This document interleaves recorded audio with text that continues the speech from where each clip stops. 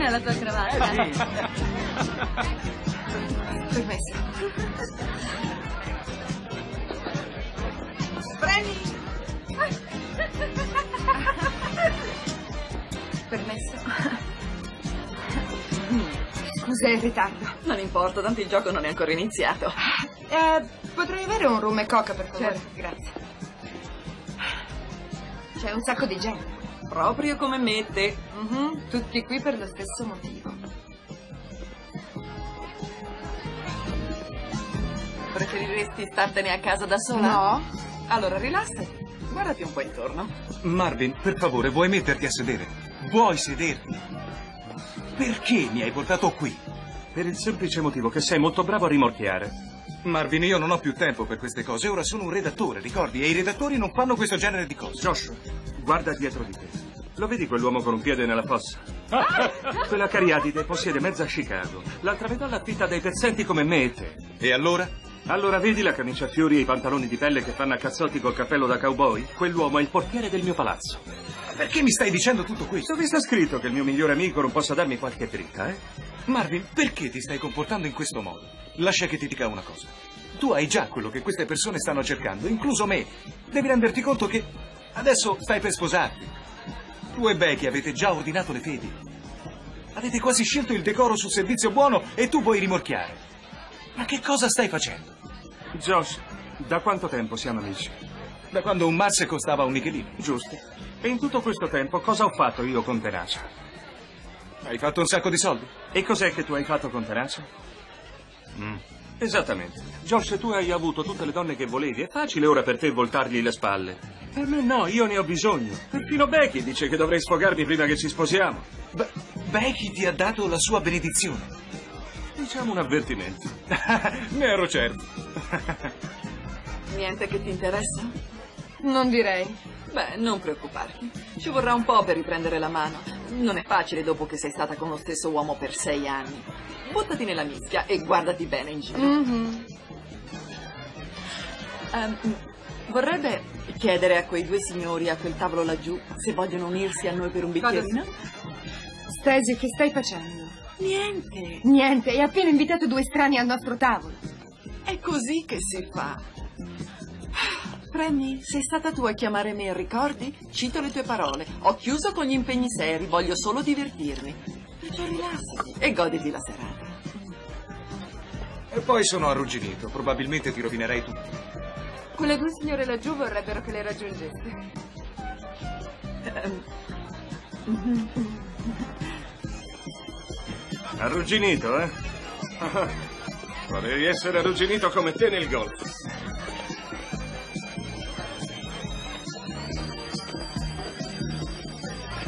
Signore? signori, Beh, Almeno adesso sappiamo chi è chi. Perché non vi accomodate? Mm, grazie. La borsa. Cosa prendete? Scotch con ghiaccio.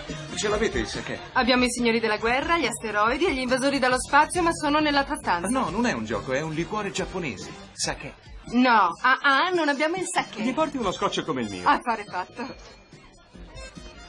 No, ah ah, noi non abbiamo il sake.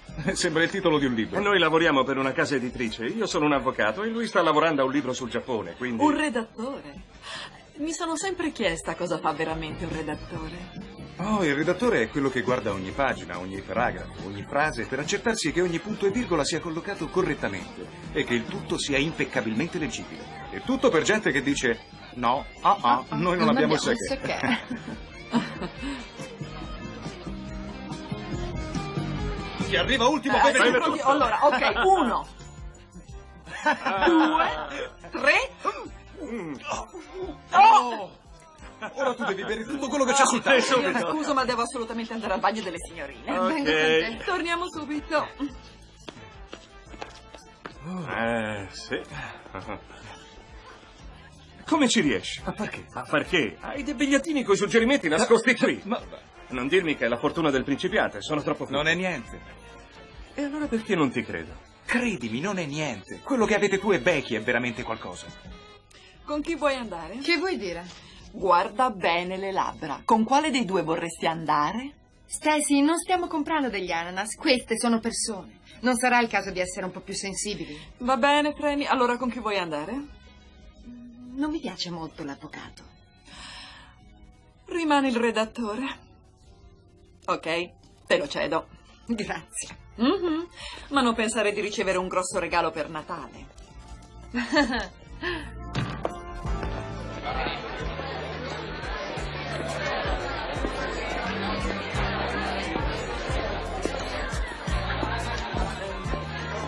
Eh, Marvin, saresti disposto a fare un favore professionale a un tuo collega? Certo. Ecco, ho un'udienza molto importante domattina e devo alzarmi presto. Potresti accompagnarmi a casa? Certo. Stacy! Remy, cerca di divertirti. Ci sentiamo per telefono domattina. Ciao. Ciao. Ciao.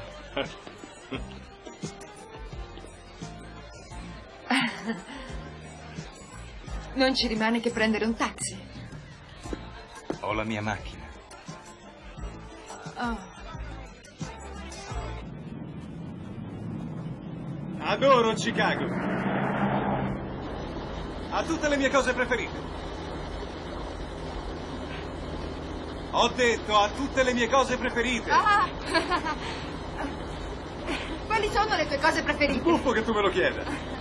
Beh, c'è il Lincoln Park, con tutte quelle bancarelle dove vendono gli hot dog più buoni che siano mai stati fatti in tutto l'universo. Giusto. E se hai fame alle tre di mattina, puoi sempre trovare un piatto di pasta da Tony, un ottimo ristorante italiano. Davvero? Certo! E Grinalis?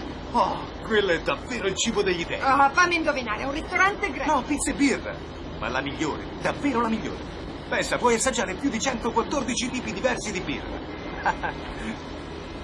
Beh, per ora le tue tre cose preferite di Chicago sono tutte cose da mangiare. Beh, certa gente mangia per vivere. Io vivo per mangiare. Allora come mai non? Pesi 200 kg. Beh, te lo voglio dire. Gioco a calcio con una banda di fanatici. Fanatici. Diciamo pure maniaci. E hai di fronte il peggior giocatore della peggior squadra che la Lega Calcio del Parco di Chicago No. abbia mai avuto. È vero! Se per caso segni un gol, il loro modo di congratularsi è di seppellirti sotto 900 kg di poderosa carne umana.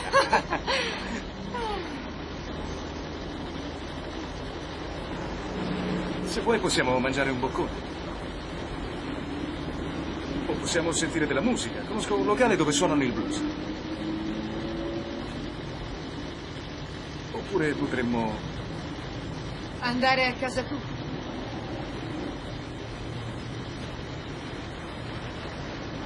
Beh, come hai appena detto tu, potremmo andare a casa mia. Se insisti.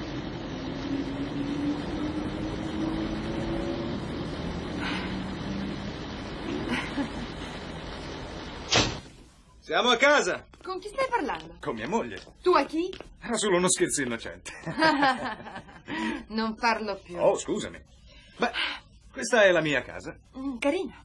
Allora, ti va un po' di vino? Va bene bianco? Eh, sì. Ok.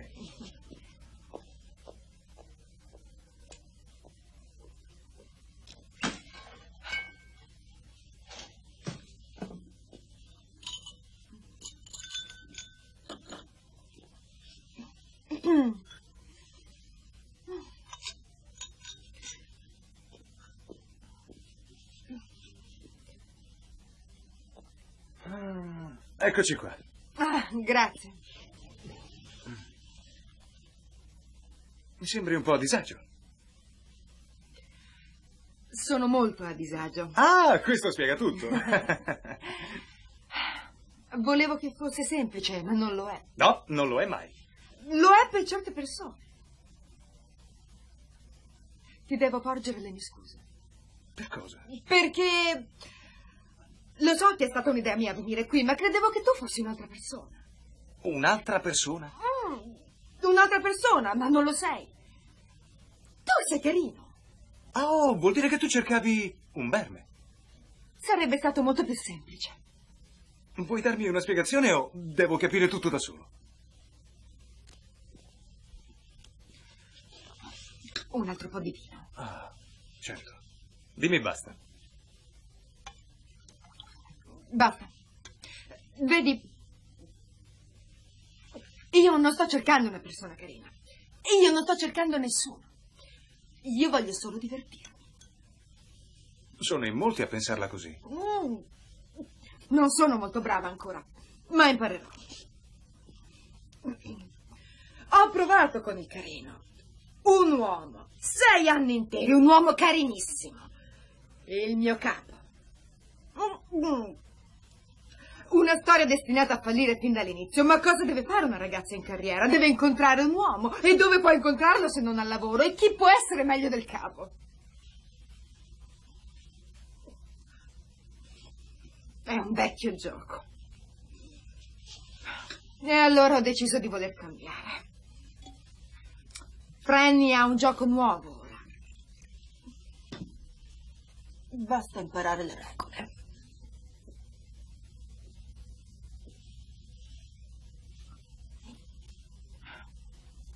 Stai cercando di ubriacarmi? In tal caso non sarei un uomo carino. Allora probabilmente ti vorrei. Allora non c'è bisogno di farti ubriacare. Sono un po' confusa. Sei ubriaca. Ora andiamo. Ti accompagno a casa tua.